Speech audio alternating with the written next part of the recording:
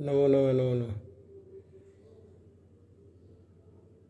चलिए तो अब अपना प्रकृत प्रसंग को लेकर के चर्चा प्रारंभ करते हैं। अव्ययी भाव समास चल रहा है। अब इस सूत्र में कुछ अर्थों में अव्ययी भाव समास का उदाहरण रह गया है। उसी के ऊपर में चर्चा करते हैं। तो अभी तक अपन इस सूत्र में अव्ययम विभक्ति इत्यादि के द्वारा जो भिन्न भिन्न अर्थों में अव्यय का समास कर रहा है, उसमें विभक्ति, समीप, समृद्धि और व्यरिद्धि, अर्थाभाव तो व्यरिद्धि तक अपन आ गए थे, अर्थाभाव तक। नमो नमः आचार्य। तो व्यरिद्धि का उदाहरण अपन ने देखा था कि यवना नाम व्यरिद्धि दुर्यवनम। तो यवना नाम व्यरिद्धि दुर्यवनम में व्यरिद्धि का वाचक दुर था और उसका यवन के साथ में समास किया था। तो वहाँ एक प्रसंग आया था कि व्यरिद्धि में भी अभाव ही है किसी तरह से, क्योंकि विगत है रिद्धि जिसका तो रिद्धि का अभाव ही बोध हो रहा है। तो अभाव अर्थ बताने के लिए आपने अलग से अर्थाभाव किया ही है। तो इसका ग्रहण क्यों किए? तो सामान्य रूप से ये चर्चा थी कि अभाव कई तरह से होते हैं। तो अर्थाभाव इत्यादि के द्वारा जो समास होगा, वो अत्यंता भाव जहाँ रहेगा। दूसरी बात यह है कि जहाँ द्रव्य का अभाव आदि बोध होगा, वहाँ, यहाँ इस दुर्यवनम में जो जिसके साथ में समास कर रहे हैं उस द्रव्य का अभाव बोध नहीं हो रहा है। उसमें रहने वाली जो रिद्धि है तो रिद्धि की प्रधानता है, रिद्धि का अभाव बोध कर रहे हैं, यवन का अभाव नहीं। इसीलिए यहाँ पृथक है स्वरूप उससे, इसीलिए अलग से बोध कराया। तो यवना नाम व्यरिद्धि इस प्रयोग में न तो अत्यंता भाव है और न ही ये द्रव्य का अभाव बता रहा है। इसीलिए रिद्धि के अभाव अर्थ को बताने के लिए ये अलग से उदाहरण दिया। उसी के बाद में रिद्धि अभावम के बाद समीप समृद्धि, व्यरिद्धि और अर्थाभाव जो चर्चा चल रही थी, उसका तुरंत फिर उदाहरण दिया समझाने के लिए मक्षिका नाम अभाव निरमक्षिकम। तो यहाँ मक्खियों का अभाव तो द्रव्य विशेष जो है मक्खी तो इस मशक का अत्यंता भाव बोध कराने के लिए दिया। इसीलिए कहा कि रिद्धिर अभाव में थोड़ा सा ध्यान रखिएगा, वहाँ के अभाव में और यहाँ के अभाव में अंतर। तो रिद्धि के अभाव में हमने क्या कहा? कि समस्यमान जो पदार्थ है, उसका यदि अभाव बोध होता है, वो अर्थाभाव में जाएगा। लेकिन यदि समस्यागत जो शब्द है, उसमें जो रहने वाला गुणधर्म है, उसको यदि अभाव बोध कराएँगे, वो अभाव यहाँ लिया जाएगा। इसीलिए यवनानाम व्यरिद्धि में यवन का अभाव नहीं बोध कर रहे हैं। यवन में जो रिद्धि है, उसका अभाव बोध हो रहा है। इसलिए रिद्धि की प्रधानता है तो इसीलिए यहाँ ये अंतर है। लेकिन अर्थाभाव जब करेंगे तो वहाँ अर्थाभाव में जिस शब्द का समास करेंगे, उसका ही अभाव बोध कर देंगे। जैसे मक्षिका नाम अभाव में समस्यमान पद कौन है? मक्षिक। तो इसीलिए इस मक्षिका का अभाव बोध कर रहे हैं हम। तो इसलिए दोनों में अंतर है। तो इसी बात को समझिए तो मक्षिका नाम अभाव का यहाँ जो अर्थ है अभाव, उस अभाव अर्थ का बोधक यहाँ अव्यय है निर। तो निर का वाचक होने के कारण आप करेंगे मक्षिका नाम, मक्षिका आम और निर। ये स्थिति बनेगी। इस स्थिति बनने के बाद हम यहाँ समास करके पूर्व प्रयोग कर लेंगे। अभाव अर्थ में समास हो गया, पूर्व प्रयोग हो गया, विभक्ति का लोप, ये सारी प्रक्रिया करके निर्मक्षिका बन जाएगी। अब निर्मक्षिका जो है, फिर इसके आ को हरस्व कर देंगे। हरस्व होने के बाद निर्मक्षिक बनेगा। सु लाएँगे, सु को अम कर देंगे तो क्या बन जाएगा? निर्मक्षिकम। ये प्रयोग हो जाएगा। तो इसीलिए अब यहाँ पर मैं इसी बात को ये समझ लीजिए कि कहते हैं कि जब अभाव अर्थ किए हैं तो अभाव अर्थ के द्वारा कैसा अभाव लिया जाए? तो जिसकी चर्चा हम क्या कर रहे हैं कि अत्यंता भाव जो अर्थ होगा, वही होगा। इसीलिए अत्यंता भाव ही बता रहे हैं यहाँ मक्षिक का। इसीलिए घट पटो न इत्यादि जो अभाव है, उस प्रकार का अभाव बोध में ये अभिभाव नहीं होता है। इसीलिए अत्यंता भाव जहाँ विवक्षित रहेगा, वही करेगा। तो इसीलिए इस सूत्र में अर्थाभाव जो कहा, अर्थ शब्द का ग्रहण किया। तो ये अर्थ कैसे निकला कि अत्यंता भाव ही लिया जाएगा? तो अर्थ ग्रहण सामर्थ्यात तो अर्थ ग्रहण सामर्थ्य से यहाँ अर्थाभाव का मतलब ऐसा अभाव है, जो अभाव अत्यंता भाव हो, उसी में ये करेगा। इसीलिए आगे जब अभाव आएगा तो अत्यय अर्थ का उदाहरण अब साथ में ही देख लीजिए। तो समीप समृद्धि व्यर्थाभावात्यया, अत्यय तो एक अर्थाभाव यहाँ आ गया। उसका उदाहरण दे दिया निर्मक्षिकम। समस्यमान पद कौन हो गया? मक्षिक। उस मक्षिक का अभाव बोध करा दिया। और यह अभाव अत्यंताभाव है।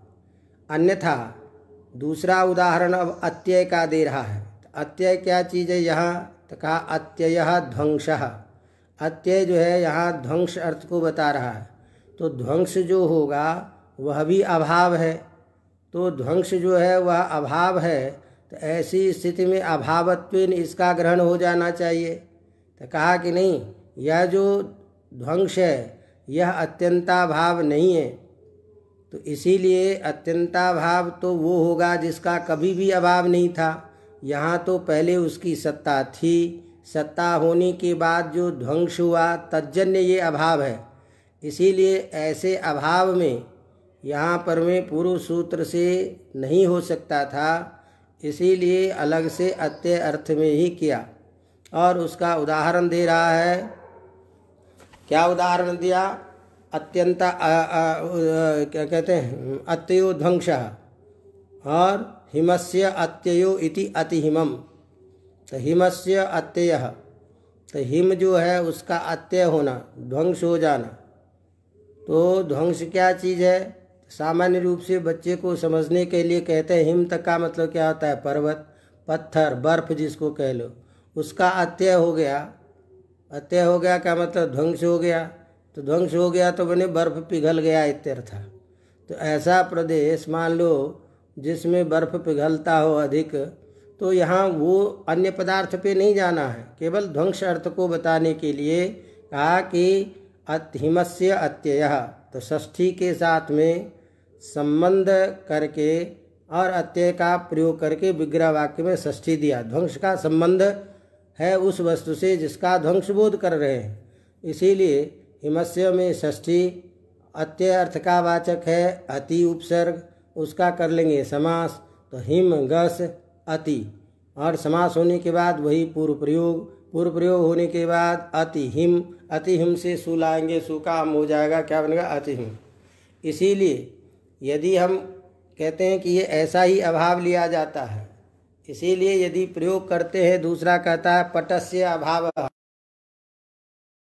तो पट का जो अभाव है तो उस पट का प्राग भाव यदि पट जो था, उसका अभाव यदि बोध कराएँगे कि निष्पटम तो इस पट का अभाव बोध तब हो रहा है कि जब पूर्व में पट था तो इसीलिए पट का प्राग भाव जो है, वह बोध हो रहा है।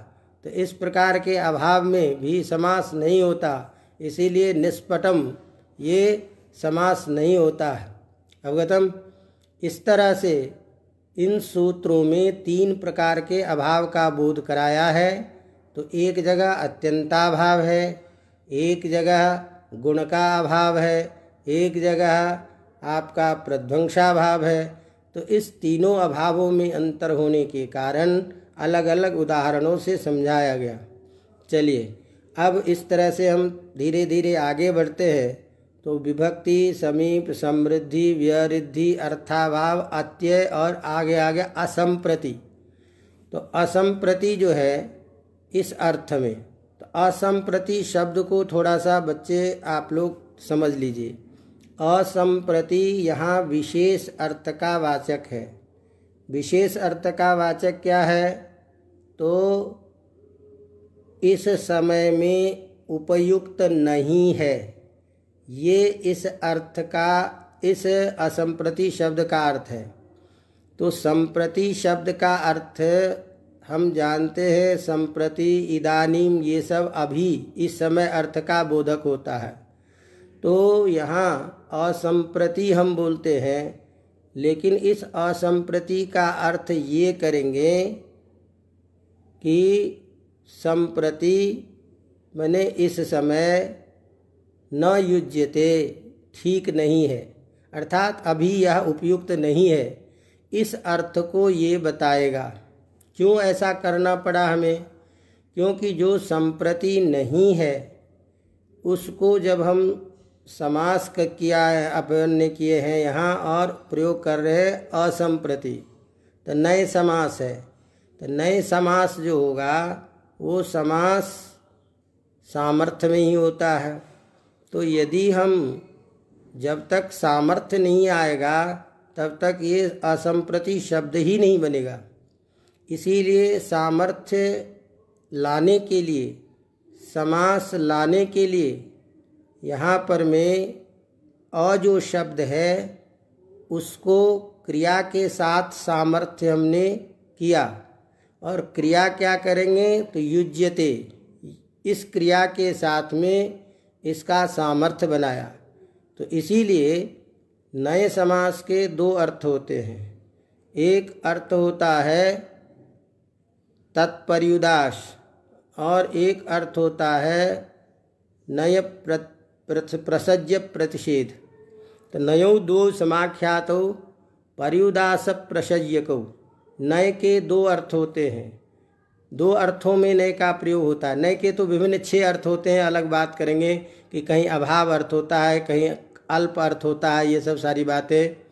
लेकिन वो अर्थ भिन्न है। लेकिन दो प्रकार के नय का प्रयोग होता है तो इसीलिए दो तरह के नय कहे जाते हैं। तो नयो दो समाख्यात पर्युदास प्रसज्य को प्रसज्य को तो प्र, पर्युदास और प्रसज्य, उसी को प्रसज्य प्रतिषेध कहते हैं। तो कहाँ पर्युदास होता है? कहाँ प्रसज्य प्रतिषेध होता है?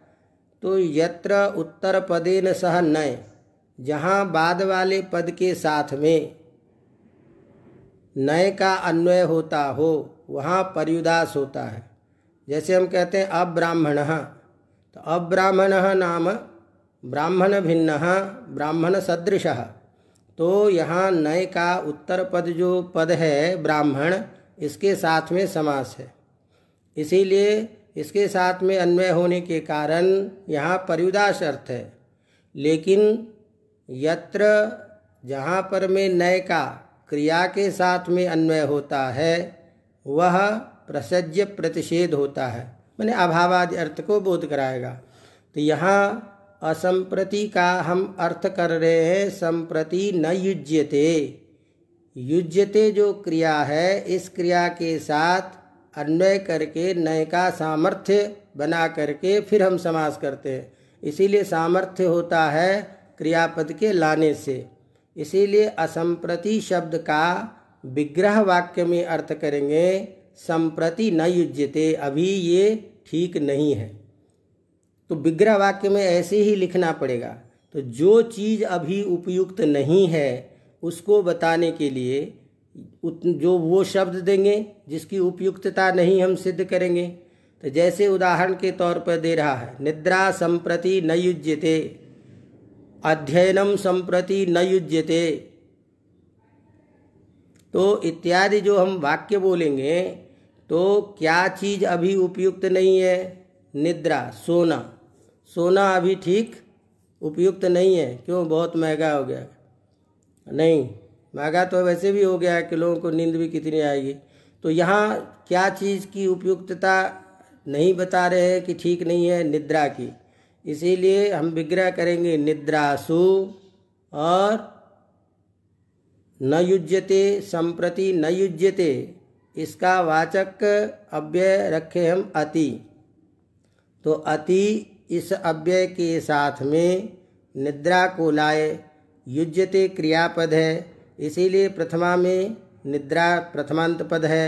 तो निद्रा सु और संप्रति न युज्यते का वाचक अति। समास कर समास कर लिया। किस अर्थ में? कौन सा अर्थ अभी चल रहा है? असंप्रति अर्थ में।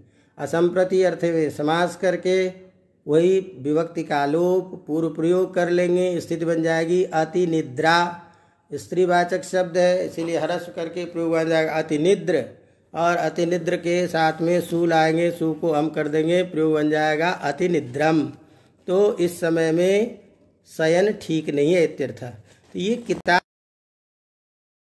वो तो केवल एकमात्र प्रतीक है। ये अर्थबोध कराया जाता है कि आप इसी तरह से अन्य जहाँ कहीं भी प्रयोग बनाना चाहेंगे, उस अर्थ में आप कर लेंगे। अवगतम तो चलिए अत्यय अर्थ भी हो गया। अब उस, वो, असंप्रति अर्थ। अब इसके बाद में अर्थ है शब्द प्रादुर्भाव अर्थ में।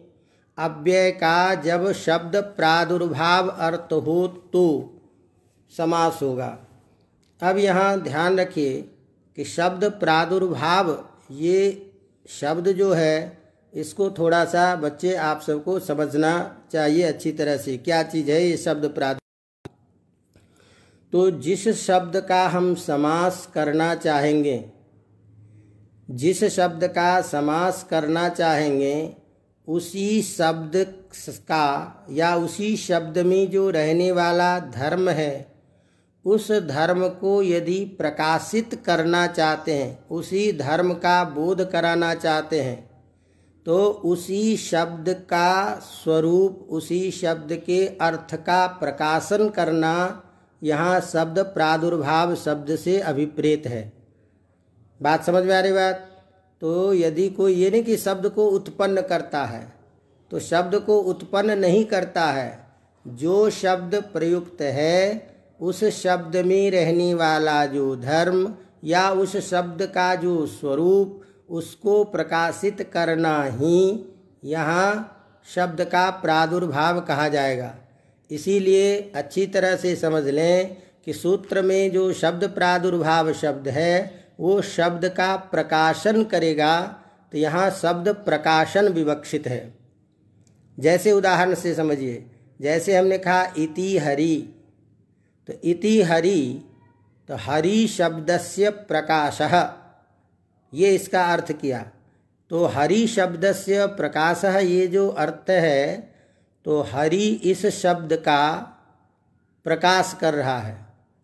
प्रकाश क्या करेगा? तो हरि शब्द के स्वरूप का बोध करा रहा है कि ये हरि शब्द, या हम यदि उस हरि के गत अर्थ जो वैशिष्ट है, उस वैशिष्ट का प्रतिपादन कहीं करेंगे?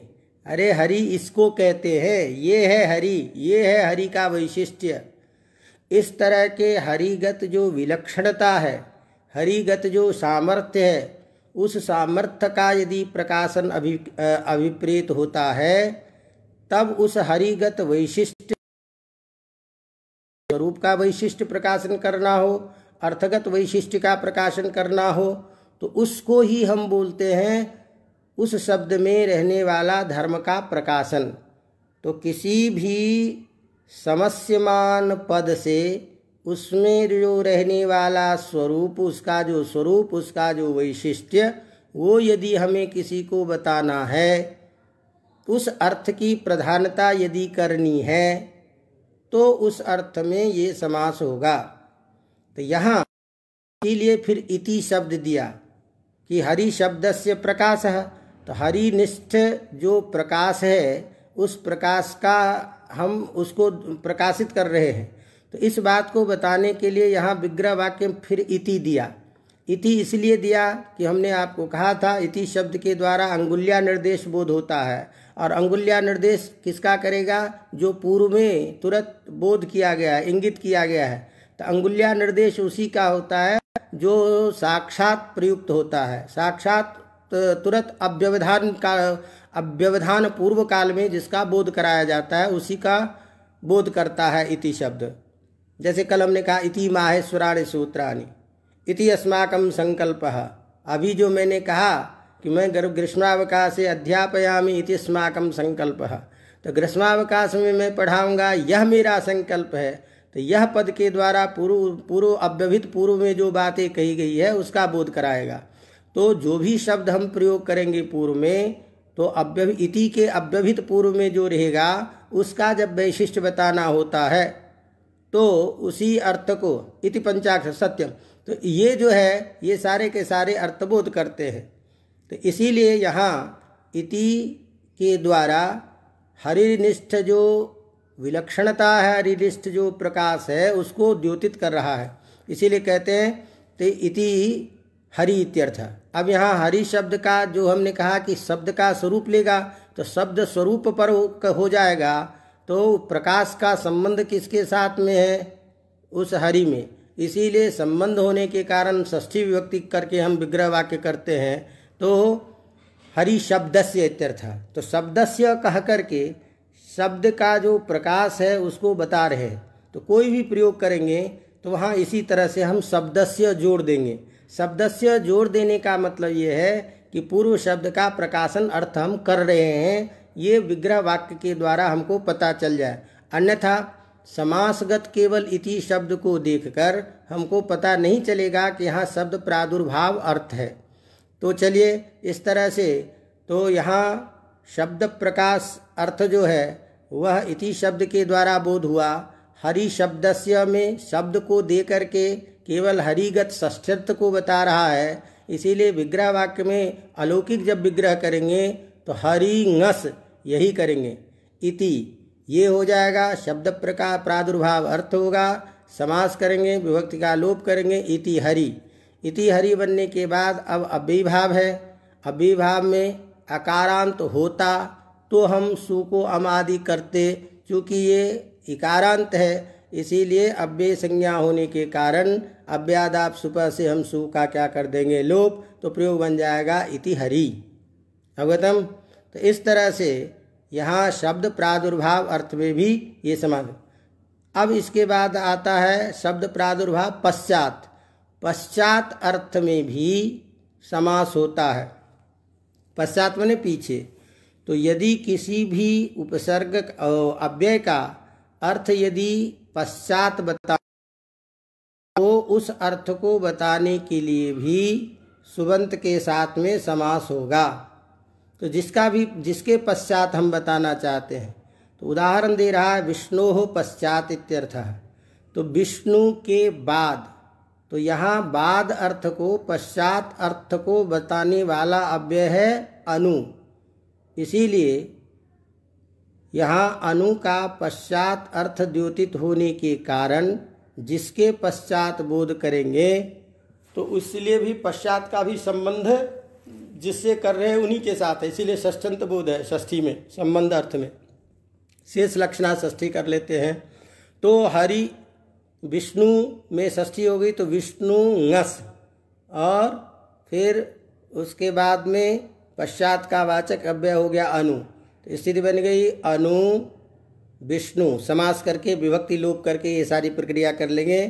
क्योंकि अब जो मूल बात है, केवल अर्थ में जहाँ जहाँ विशेष बात होगी, वही बात होगी, बाकी प्रक्रिया समान है। तो इसी तरह से अनुविष्णु जब बन गया, अभिभाव हो गया, अभिभाव हो जाने के बाद वही सु लाएँगे, सु का लोप हो जाएगा, अनु, विष्णु, ये प्रयोग बन जाएगा। तो सीधा सीधा यहाँ ध्यान रखना है अनुज या अव्यय है, यह पश्चात अर्थ का वाचक है। अब आप अच्छी तरह से समझ लीजिए, जो पश्चात अर्थ यदि किसी का द्योतित होता है, अव्यय का, उस अव्यय के साथ में ही समास होगा, क्योंकि पश्चात अर्थ भी है। पश्चात का जो अर्थ करते हैं उसके बाद, ये अर्थ तो पश्चात शब्द का भी है, लेकिन पश्चात जो शब्द है, इस शब्द के साथ में हम समास नहीं करेंगे, क्योंकि पश्चात अर्थ का वाचक ये नहीं है, स्वयं पश्चात अपने स्वरूप को लेकर के उपस्थित हो रहा है। और हम उस पश्चात अर्थ का वाचक अन्य जो कोई शब्द होगा उसी के साथ में कर रहे हैं। तो अनु जो है यहाँ पश्चात अर्थ का बोध करा रहा है। पश्चात अर्थ, यह पश्चात शब्द का भी है, लेकिन शब्द स्वरूप होने के कारण हम यहाँ उस पश्चात शब्द के साथ समास नहीं करते हैं। कथन न कर क्रियते, क्यों नहीं करते हैं? कि इसलिए कहते हैं कि हमारे भाष्यकार ने पश्चात स्रंशते ध्वंसते इत्यादि प्रयोग में पश्चात शब्द को रख करके समास विधान नहीं किया है। अतः अर्थ को लेकर के चलने वाला ये है समास। तो इन इन अर्थ का वाचक जो शब्द होगा, जो स्वरूप परक से भिन्न होगा, वहीं पर में समास होगा।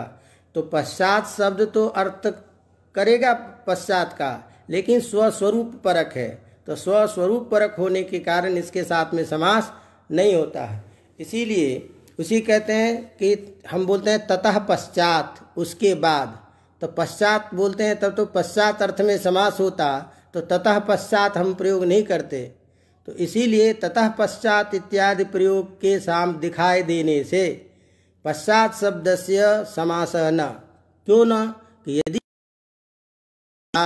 तो फिर पश्चात शब्द का प्रयोग या तो पूर्व में करो तो पश्चात ततः ये प्रयोग होना चाहिए। ततः पश्चात ये प्रयोग नहीं होता है। तस्मात पश्चात शब्द के साथ में समास नहीं होगा, लेकिन इस पश्चात अर्थ का वाचक जो अव्यय होगा, उसी के साथ समास होता है इत्यर्थ। ये सब सारे सूत्र भाष्यादो स्पष्टम इत्यादि। चलिए, अब कहते हैं कि यहाँ अब पश्चात अव्यम विभक्ति समीप समृद्धि, व्यारिद्धि, अर्थाभावात्या, संप्रति शब्द प्रादुर्भाव पश्चात यथा। अब आ गया यथा। तो सूत्र में बोलता है कि यथा के अर्थ में समास होगा। तो यहाँ अब देखिए, यथा के अर्थ में समास होगा। इस बात के कहने से ही ये स्पष्ट है यहाँ नहीं करेंगे। यथा शब्द का जो अर्थ होगा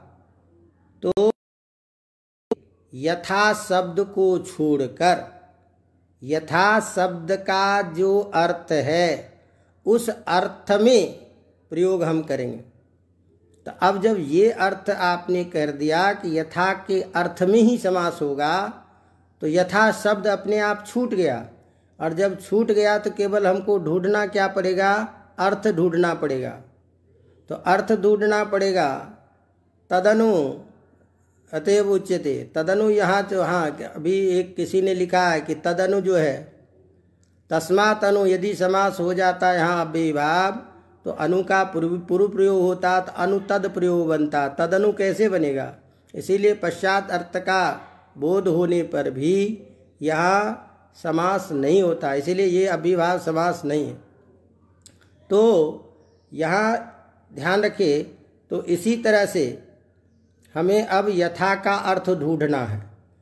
तो कहा कि यथा के चार अर्थ होते हैं।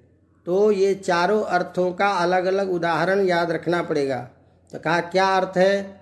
तो योग्यता, वीपसा सादृश्य। तो योग्यता, वीपसा, पदार्थानतिवृत्ति, सादृश्या, सादृश्यार्था। एते अर्था भवन्ति यथा शब्दस्य। यथा शब्द के ये चार अर्थ में प्रयोग देखे जाते हैं। योग्यता अर्थ में, वीपसा अर्थ में, पदार्थानतिवृत्ति अर्थ में और सादृश्य अर्थ में। तो इन चारों अर्थों में यथा के जो ये चार अर्थ है, इन चार अर्थों में समास होगा। अब चूँकि इन योग्यता योग्यता बीपसा पदार्था, नतवृत्ति और सादृश्य, इन चारों अर्थों में हमको समास करना था, और चारों अर्थ एक शब्द का बोधक है, इसीलिए संक्षेप में यथा शब्द का ही उल्लेख कर दिया। अन्यथा, जैसे भिन्न भिन्न अर्थों में हम समास कर रहे हैं, विभक्ति, समीप, समृद्धि तो भी हम वीप्सा पदार्था, नतिवृत्ति इत्यादिषु अर्थेषु विद्यमानं यत् सुबन्तं तत् अब सम्यस्यते अव्ययम तत्सुवंते न सा सम्यस्यते। तो ये नहीं कहे, क्यों? कि इनके चारों अर्थ यदि एक ही शब्द से प्रकाशित हो रहा है तो उस शब्द मात्र के ग्रहण से चारों का ग्रहण हो जाता है। अवगतम तो इस तरह से यथा के अर्थ में जो भी विद्यमान है, उस विद्यमान अर्थ का वाचक जो अव्यय होगा उस अव्यय के साथ सुबंत का समास होगा। अब आप लोगों को, छात्रों को परीक्षा के लिए ध्यान रखना पड़ेगा, क्योंकि आपको ये भी देखना है कि कई अर्थ एक ही उपसर्ग के होंगे। अभी आपने पश्चात अर्थ को बताने के लिए अनु का प्रयोग देखा, अनु का प्रयोग किया, फिर हम अनु का प्रयोग अन्य अर्थ में करेंगे। एक अर्थ में नहीं, दो अर्थ में नहीं, पाँच अर्थों में करेंगे। तो विग्रह वाक्य को देख करके या समास को देख करके आपको पता नहीं चलेगा। इसीलिए विग्रह के सहित ही ध्यान रखिएगा। अब जैसे मान लीजिए हमने प्रयोग किया, एक एक का क्रमिक चल रहे हैं कि योग्यता अर्थ का वाचक उदाहरण दे रहा है योग्यता अर्थ में।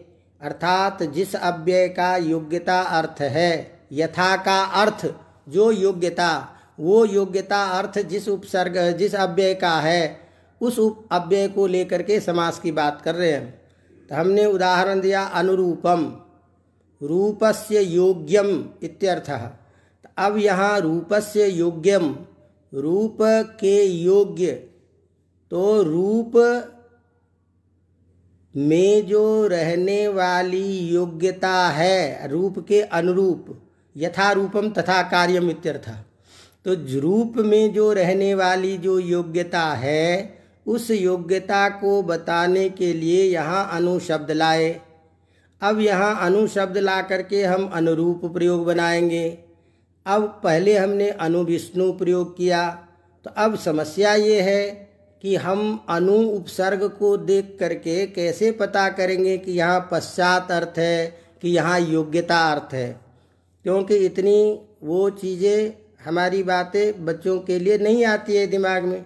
तो कई बार बहुत आ, क्या कहते हैं उपाय शिक्षमाना नाम बाला नाम उपलालना असत्य वर्तमान स्थित्वा तथा सत्यम समीहते सत्य तक जाने के लिए कई बार जितने भी ये रास्ते हैं असत्य रास्ते पर चलते हुए सत्य का रास्ता अर्थात हम जानते हैं कि ये मार्ग ठीक नहीं है सत्य नहीं है लेकिन उसको सहारा लेकर के आगे तक हम पहुंचाते हैं इत्यर्थ।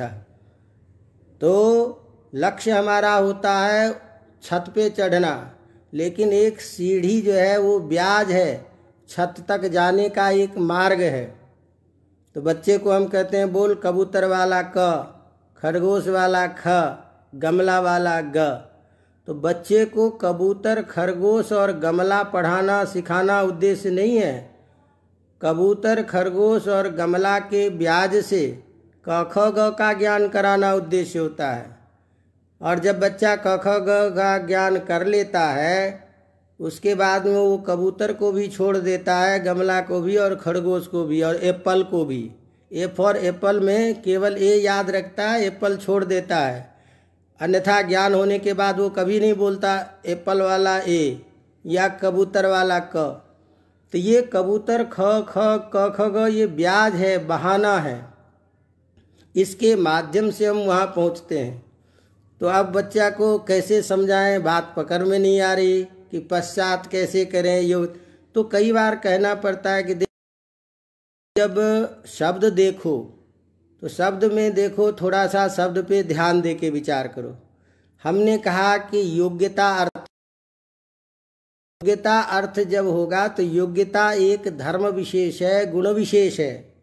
तो यदि कोई ऐसा शब्द रहे साथ में अनु का, तब तो समझना कि यहाँ योग्यता अर्थ है। और यदि मान लो कोई ऐसे किसी अवयवी विशेष का द्रव्य के साथ में प्रयोग है तो समझ जाना, क्रिया के साथ में प्रयोग है तो समझ जाना कि भैया यहाँ पर में पश्चात अर्थ है। तो विष्णु पश्चात में विष्णु के बाद अर्थ किया। और यहाँ जो हम रूप के योग्य तो रूप के योग्य जब हम क्रिया प्रयोग कर रहे हैं तो रूप जो है, धर्म विशेष है। तो इस तरह से धर्म विशेष, गुण विशेष, क्रिया विशेष को लेकर के यदि कोई शब्द दिखाई दे तो मोटे तौर पे इतना समझ लेना कि यहाँ योग्यता, अर्थ है इत्यादि। लेकिन ये वास्तविक नहीं है। केवल सामान्य विच्छेद करने के लिए, सामान्य भेद बोध कराने के लिए इस तरह से समझना चाहिए। तो चलिए, कोई बात नहीं। तो रूप से योग्यम, इस अर्थ में जो योग्यता है, उसको बताने के लिए हमने अनु को किया। अनु अर्थ क्या किसमें हो गया? योग्य अर्थ में। अब योग्यता क्या चीज़ है? जैसा शब्द प्रयोग किया, उसमें जो रहने वाला धर्म है, वही तो योग्यता होगी। मनुष्य कोई चीज़ न भी करेगा तो भी उसमें योग्यता कुछ न कुछ रहेगी। मनुष्य में और कुछ न करे आदमी तो मनुष्य होने के कारण मनुष्यत्व उसमें आ ही जाएगा, सामान्य धर्म। तो वो उसकी इतनी योग्यता तो हो ही जाएगी कि मनुष्यत्व उसमें है। अब वो अलग बात है कि वो बन नहीं पा रहा है। तद भिन्न परंच केचन तावत काश्चन तादृशा तादृश योग्यता सन्त्यव। तो इस तरह से जो योग्यता अर्थ है, वह योग्यता का तात्पर्य हो गया यथार्थ। तो उस शब्द में रहने वाला जो उसका स्वाभाविक स्वरूप है, वही उसकी योग्यता है। तो जैसा रूप है, वैसा का।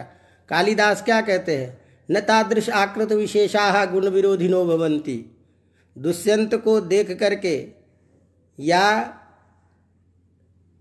शकुंतला को देख करके मान लीजिए कि दुष्यंत कह रहा है कि न तादृश आकृत विशेषा गुण विरोधी विरोधिनो भवंती प्राय जिन जो आकृति से सुंदर होते हैं, जिसका शरीर सुंदर होता है, जिसका ईश्वरकृत जो स्वरूप अच्छा होता है, प्रायः वह उसका आचरण विपरीत नहीं देखा। पहले जमाने की बात है, अब के जमाने की बात नहीं। तो इस तरह की जो बातें थी, इसका मतलब क्या है? उसमें स्वरूप दृश्य ऐसी है। तो इसीलिए उसका मतलब हो गया यथार्थ धर्म। तो योग्यता का तात्पर्य यहाँ समझ लेना चाहिए, यथार्थ, जो उसका धर्म विशेष है। तो रूप से योग्यम जैसा रूप है, वैसा। इस अर्थ को बताने के लिए यहाँ योग्यता अर्थ में अनु, योग्यता अर्थ का वाचक कौन है? अनु, उसका साथ में हम समास करेंगे। तो रूपस्य षष्ठी, वही स्वरूप होने के कारण संबंध संबंध होने से षष्ठी व्यक्त करके रूपस्य अनु करेंगे विग्रह वाक्य। रूप अनु, समास कर लिया, विभक्ति का लोप कर दिया, अनुरूप बन गया, सुलाया सु को अम कर दिया, अनुरूपम प्रयोग बन गया। तो इत्यर्थ, इसीलिए जहाँ कहीं भी इस तरह से अर्थबोध करना होगा, धर्मस्य अनुरूपम इति अनुधर्मम। तो धर्म विशेष जो है, धर्म में रहने वाला धर्म कोई भी है तो अनुगुणम, गुण के अनुरूप इत्यर्थ, ये सारे प्रयोग कर लेंगे। तो योग्यता, आगे क्या है, वीपसा। वीपसा क्या कहते हैं? वीपसा कहते हैं क्रिया की आवृत्ति को। किसी क्रिया को बार बार करने के लिए बार बार अर्थ बताने के लिए जो क्रिया की आवृत्ति की जाती है, उसको कहते हैं वीपसा। विकल्पे ने ईप्सा बताइए, वीपसा। या विकल्पे, मैंने किसी क्रिया के पुनः पुनः होना, उसको बताने के लिए, क्रिया की आवृत्ति को बताने के लिए वीपसा बोलते हैं। तो वीपसा अर्थ ये है, या उस क्रिया की बार बार अर्थ जो होगा, वह उसकी व्यापकता को भी बताएगा। जैसे हम बोलते हैं, गेहे गेहे कालिदास, गेहे गेहे धर्म तो प्रति घर में, प्रत्येक अर्थ में, प्रत्येक वृक्ष पर तो इत्यादि अर्थ में जहाँ समस्त का बोध कराना हो, क्रिया की सत्ता अधिक जगह पर बोध कराना हो ऐसे अर्थ को हम विपसा के द्वारा क्रिया की आवृत्ति या क्रिया की व्यापकता को बताने के लिए पद की आवृत्ति करते हैं। तो जहाँ कहा कि विपसा अर्थ का प्रति और उस प्रति के द्वारा विप्सा अर्थ की प्रतीति कर रहे हैं। तो जिस चीज़ की प्रतीति हम बार बार कराएँगे या जिसका अर्थबोध हम बार बार करेंगे जिस चीज़ को, उसको बताने के लिए। तो उसी को विग्रह वाक्य के द्वारा समझा रहा है, अर्थम अर्थम इति प्रत्यर्थम। तो अर्थम अर्थम, ये जो दो बार प्रयोग किया है, वो केवल विप्सा अर्थ की प्रतीति के लिए किया है। समास तो एक अर्थ के साथ भी होगा, लेकिन चूँकि यहाँ प्रति के द्वारा क्रिया की बार बार जो आवृत्ति है या क्रिया की जो व्यापकता है, उस चीज़ को बताने के लिए कहा, प्रत्येक अर्थ अर्थात सभी अर्थों में तो अर्थगत जो व्यापकता है, उसको बता रहे हैं तो इस अर्थ को बताने के लिए हमने दो बार शब्द का प्रयोग किया। लेकिन यह दो बार प्रयुक्त शब्द समास जब करेगा तो एक ही अर्थ शब्द को लेकर के करेंगे। तो एक ही अर्थ शब्द को लेकर के करेंगे तो अर्थ अम प्रतिशु अब यहाँ अर्थम अर्थम में जो द्वितीय विभक्ति की है, वह द्वितीय विभक्ति प्रति के योग में। क्योंकि ये कारक प्रकरण जब अपन पढ़ते हैं तो उसमें एक सूत्र आता है लक्षणेत्थम भूताख्यान भाग विप्सासु प्रतिपर्यन पति प्रतिपर्यन वह लक्षणम इत्थम भूकृताख्यानम, विप्सा, प्रति, इन सभी अर्थों को बताने के लिए प्रति परि अनु इसकी क्या होती है? कर्म प्रवचनीय संज्ञा, और कर्म प्रवचनीय संज्ञा के योग में द्वितीय विभक्ति तो वृक्षम वृक्षम प्रति विद्योतते वृद्युत इत्यादि। तो यहाँ पर मैं प्रति के योग में द्वितीय विभक्ति होने के कारण हम अर्थम प्रति बोलते हैं अर्थम अर्थम प्रति। तो कुल मिला करके भीपसा का वाचक हो गया प्रति अर्थ अम और प्रतिशु समास किया, समास करने के बाद में वही पूर्व प्रयोग कर लेंगे तो क्या बन जाएगा? प्रति अर्थ। इको एन से यन कर देंगे तो क्या बन जाएगा? प्रत्यर्थ। प्रत्यर्थ बनने के बाद में बन गया प्रत्यर्थम। अब यहाँ एक बात कह रहे हैं कि एक बात जो आपने लौकिक विग्रह वाक्य जो हमको बताया कि अर्थम अर्थम इति प्रत्यर्थम। अब चूँकि चूँकि ये अव्ययीभाव समास है, प्रत्यर्थ तो नित्य समास है तो नित्य समास होने के कारण इसमें विग्रह वाक्य कैसे संभव है? अर्थम अर्थम प्रति ये कर नहीं सकते। तो ऐसी स्थिति में यह प्रयोग कैसे? तो कहा, कोई बात नहीं। इसीलिए हमने आपको कहा कि यह जो लक्षणे तम्भूताख्यान भाग विप्सासु इत्यादि के द्वारा जो द्वितीय विभक्ति का विधान किया गया है तो इस समास के द्वारा केवल बीपसा अर्थ द्योतित हो रहा है, प्रति के द्वारा नहीं अर्थ हो रहा है। समासगत जो है उसको बोध रहा जहाँ पर में समासगत नहीं है, वहाँ तो वाक्य बनेगा। तो वह वाक्य जो है केवल समासगत बीपसा अर्थ को बताने के लिए प्रयुक्त में है, इसीलिए इस तरह का विग्रह केवल अर्थ बताने के लिए यहाँ दिया गया है। तस्मात यह जो प्रतिशब्द ये प्रतिशब्द के साथ में जो प्रयोग किया इसी बात को ध्यान में रख करके आपके इस सिद्धांत कौमुदी के मूल में ही लिख रहा है। कि प्रतिशब्द से वीप्सायाम कर्म प्रवचनीय संज्ञा विधान सामर्थ्यात तत्योगे द्वितीया गर्भम वाक्यमपि। अर्थात लक्षणे तम्बूताख्यान भाग विप्सासु प्रतिपर्य नव इस सूत्र के द्वारा प्रति शब्द के योग में जो द्वितीया का विधान किया गया है, इस विधान के सामर्थ्य से हम वाक्य का भी प्रयोग करते हैं। अन्यथा यदि समास ही होता तो द्वितीया का कोई प्रश्न नहीं था तो फिर समास विधान व्यर्थ हो जाता। इसी को मैंने कहा कि यह समस्त गत जो अर्थ है, यहाँ विप्सा अर्थ हम समास से ले रहे हैं। तो समासगत विप्सार्थ की प्रतीति हो रही है, न कि वाक्यगत विप्सार्थ की प्रतीति। वाक्य में जो द्वितीय विभक्ति का प्रयोग किया है, वह केवल अर्थमात्र के बोधन के लिए किया है, और वो अर्थमात्र बोधन वाक्य इसलिए होता है कि हमारा लक्षणेथम भूताख्यान भाग विप्सासु प्रतिपर्यन सूत्र के द्वारा इसका विधान किया गया है। इसीलिए इस अर्थ में इस सूत्र के विधान के सामर्थ्य से वह वाक्य का भी प्रयोग होता है, नित्य समास होता हुआ भी सूत्र विधान सामर्थ्यात। इसीलिए इसका वाक्य में भी प्रयोग करने में कोई दिक्कत नहीं है। अन्वर्थम तो जैसे कई जगह हम प्रयोग करते हैं कि ये अन्वर्थ संज्ञा है। जैसे हमने कहा कि अभिभाव शब्द जो है, ये अन्वर्थ संज्ञक है। तो अन्वर्थ शब्द का मतलब क्या है कि ये अर्थ के पीछे चलता है या अर्थ के अनुरूप चलता है।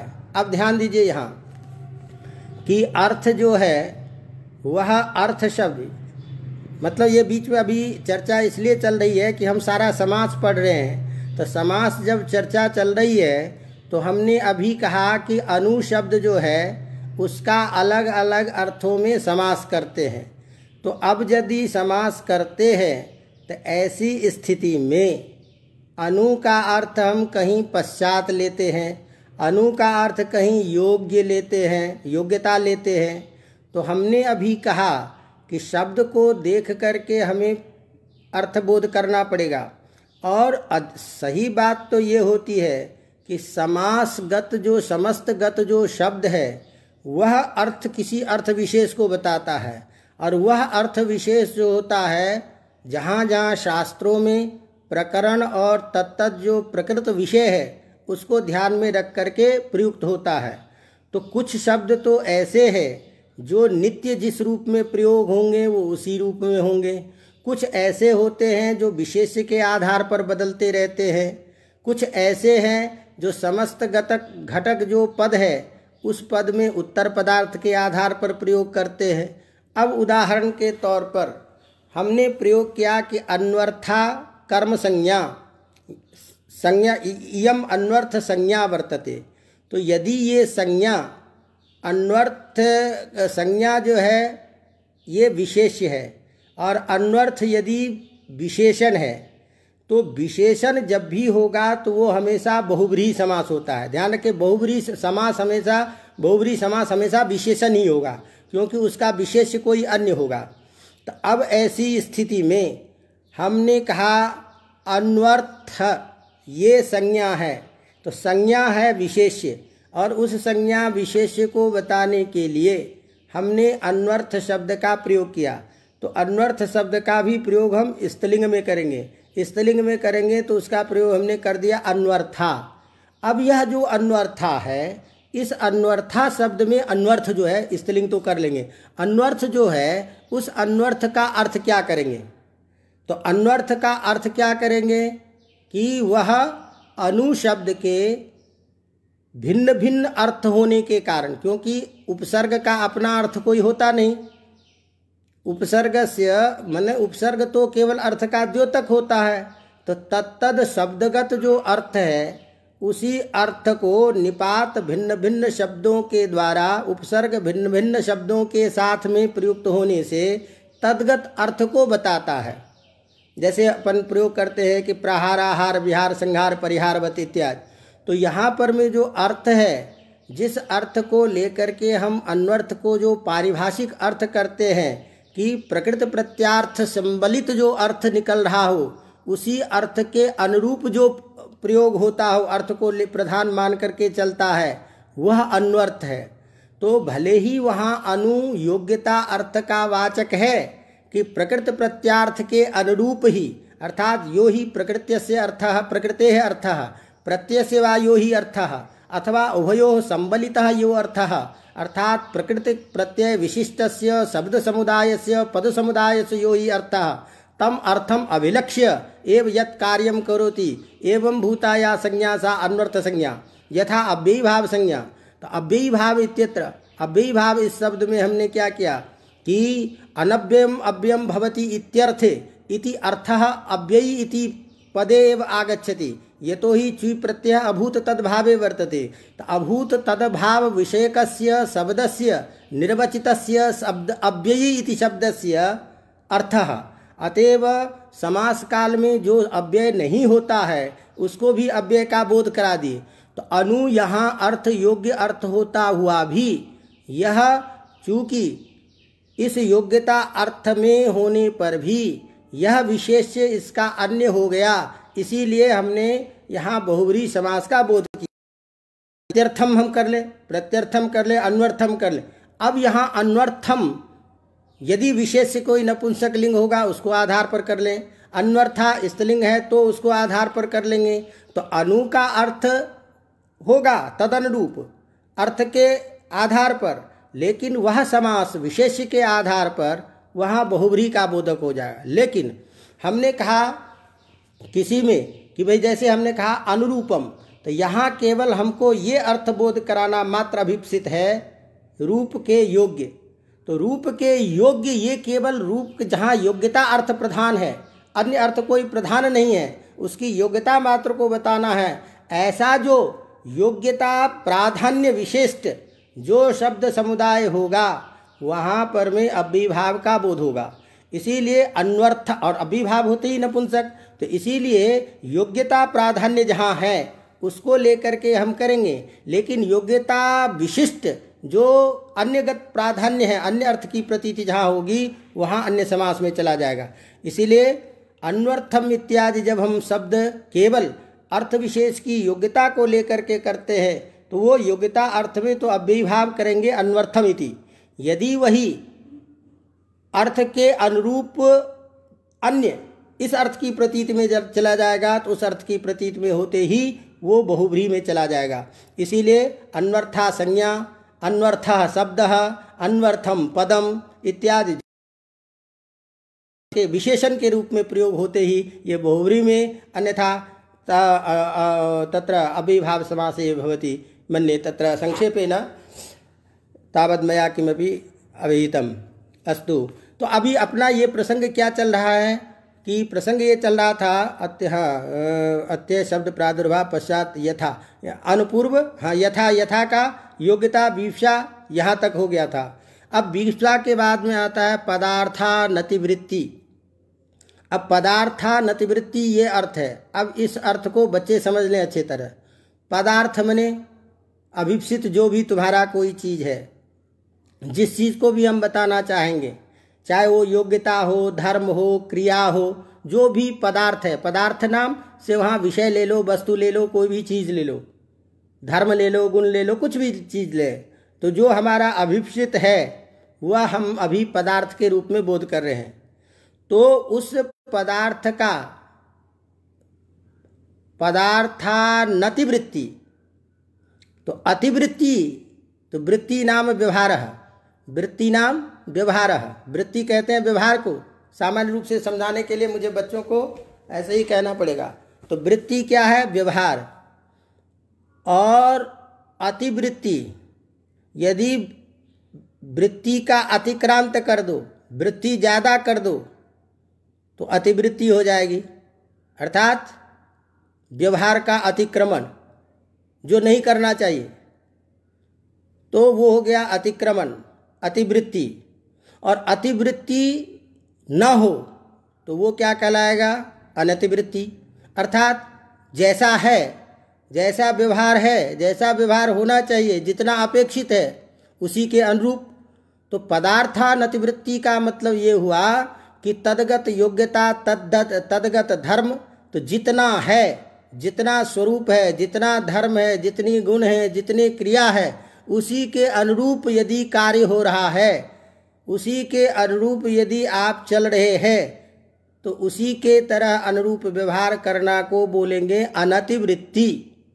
मैंने अतिक्रमण नहीं करना। जितनी लंबी चादर उतनी पैर फैलाओ। जितना सामर्थ्य उतना ही काम करना चाहिए। तो यह जो अन, ये जो चीज़ें हैं तो पदार्थानतिवृत्ति इसको बताने के लिए पदार्थ शब्द तो केवल अर्थबोध मात्र के लिए दिया कि वह तादृश वस्तु विशेष जिसका अतिक्रमण नहीं हो।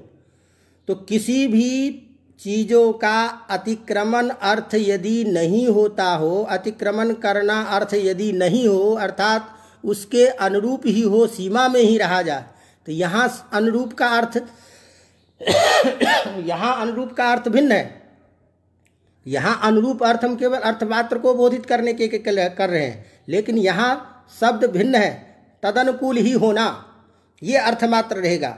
तो इस दृष्टि से किसी भी अर्थ विशेष, धर्म विशेष, गुण विशेष का जहाँ पर में अतिक्रमण न हो, जितनी जो सामर्थ्य हो, उसी के अनुराप, अनुरूप यदि कार्य किया जाता हो उसी को बोलेंगे हम पदार्थ का अनतिक्रमण, अति, अनतिवृत्ति। और ये अर्थ यदि किसी को बोध कराना हो तो उस अर्थ का बोधक जो अव्यय होगा, उस अव्यय के साथ में भी सुबंत का उसका सुबंत का बोध होगा, समास होगा। तो इसी तरह से उस अर्थ को बताने के लिए समास है तो पदार्थानतिवृत्ति, ये कहते हैं इसी का उदाहरण। तो इस पदार्थानतिवृत्ति का उदाहरण क्या दे रहा है? तो हमें उदाहरण, पदार्थानतिवृत्ति और सादृश्य। अनतिवृत्ति हम्म। यथाशक्ति, यथारूपम, यथागुणम, यथाशक्ति इत्यर्थ।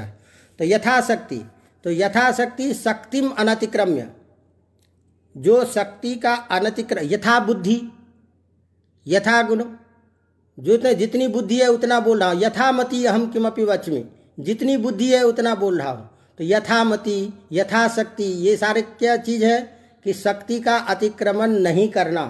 तो शक्ति जितनी है, जितना सामर्थ्य है, उसी के अनुरूप कार्य करना। तो यहाँ शक्ति धर्म विशेष। उस धर्म विशेष का अतिक्रमण नहीं जहाँ किया जाता हो, ऐसे अर्थबोध कराने के लिए तो यहाँ अनतिक्रम्य अर्थ का वाचक अव्यय है यथा। उस यथा शब्द का हम करेंगे समास। तो ध्यान रखिएगा कि ये यथा अनतिक्रम्य अर्थ का वाचक है। इसीलिए अनितक्रम्य अर्थ में हम यथा शब्द का समास कर रहे हैं। तो शक्तिम अनतिक्रम में शक्ति अम, अनतिक्रम्य का वाचक अव्यय कौन हो गया? यथा समास कर लेंगे वही शक्ति अम, यथा समास पूर्व रूप सारी प्रक्रिया करके प्रयोग बन जाएगा। यथाशक्ति यथाशक्ति के अव्यय होने के कारण वही सु का लोप होकर के बन जाएगा प्रयोग। यथाशक्ति इसी तरह से अब कहा सादृश्य। तो सादृश्य समानता का बोधक होता है। सादृश्य किसी की तुलना हम करते हैं। सामान्य रूप से सादृश्य का बोध होता है। एक पदार्थ को उपस्थित करके तद्धर्म को दूसरे में बताना, उसके अनुरूप लोग अर्थबोध कराना ही। तो यहाँ सब पर भी किसी न किसी अनुरूप अर्थ आ रहा है। लेकिन सभी अनुरूप में भिन्नता है, ये ध्यान रखने की है। चलिए, कोई बात नहीं। तो अब यहाँ हम उदाहरण दे रहे हैं। हरे सादृश्यम इति सहरी। तो यहाँ सादृश्य का वाचक अव्यय है सह। सादृश्य का वाचक अव्यय है क्या सह? तो इस सह अव्यय का सादृश्य अर्थ में हम समास करने जा रहे हैं, हरि के जैसा। तो यहाँ हरि के जैसा में हरि सादृश्य किसी न किसी में हम बताएँगे, लेकिन जिसको बता रहे हैं वो अलग चीज़ है। लेकिन हरि गत धर्म को लेकर के हम कार्य कर रहे हैं। तो षष्ठी विभक्ति करके हमने विग्रह किया, हरे सादृश्यम।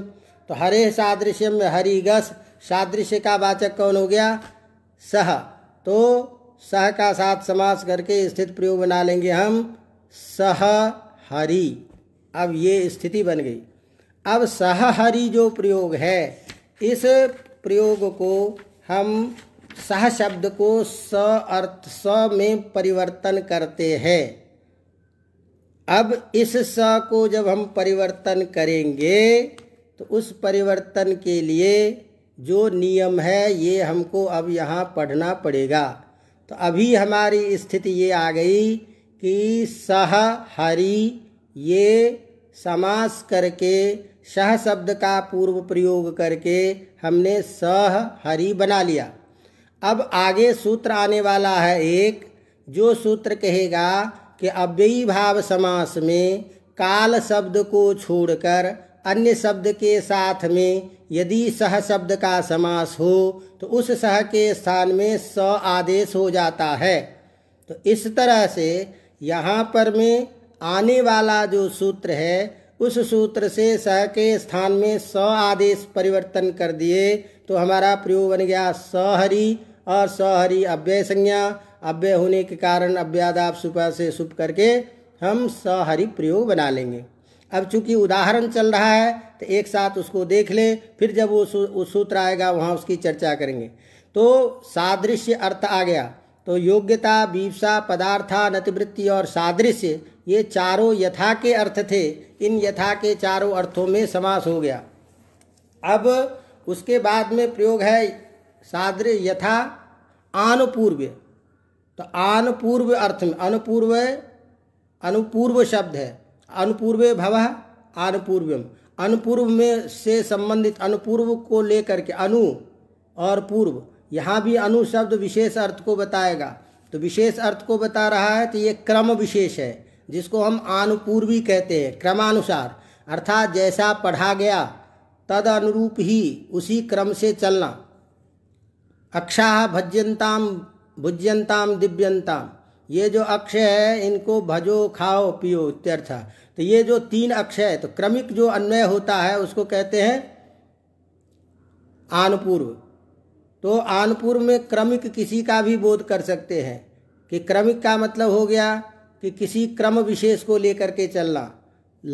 बड़े के आधार पर क्रम बनाओ, छोटे के आधार पर क्रम बनाओ बुज़ुर्ग के आधार पर क्रम बनाओ, छात्रों की वरिष्ठता के आधार पर क्रम बनाओ। जो कुछ भी क्रम है, वो क्रम आपको तय करना है।